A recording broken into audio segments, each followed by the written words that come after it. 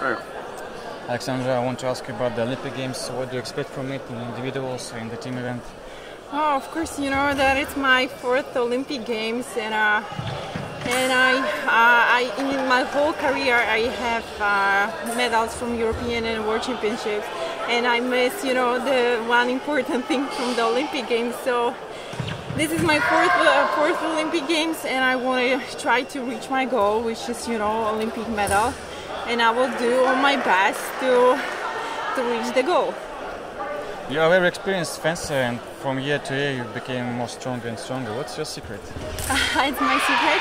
You know, like day day by day, you know, I try to have you know fun from uh, from the sport because this is what I love. You know, this is this is my passion, and I'm trying you know to success every every day, and I'm trying you know to um, to be more patient. This is my weak point, so I'm, I'm working on this one. So if I will be more patient, that will be, you know, good results.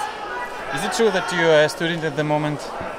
No, no, I finished uh, mm, two degree. I have a two degree. I finished Academy of Physical Education, and also I have a, a diploma of the international and uh, international international relation and diplomacy.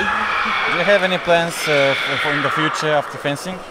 Uh, my plan is like until Olympic Games, until Rio, and after Rio, I don't know what's going to you know happen. I I have you know planned um, every. I've been planning you know like the whole whole time to the Rio, so I know what my day looks like until Olympic Games. And uh, after Rio, I don't know. I'm going to play by ear. What's going to happen? Uh, of course, I will take a break, and uh, I don't know how long will be the break. But uh, you know, if I still enjoy, and I've, uh, it's all uh, it's all about health. If that will be, you know, these two things, I will continue. Thank you very much. We wish you best. Thank you. Thank you.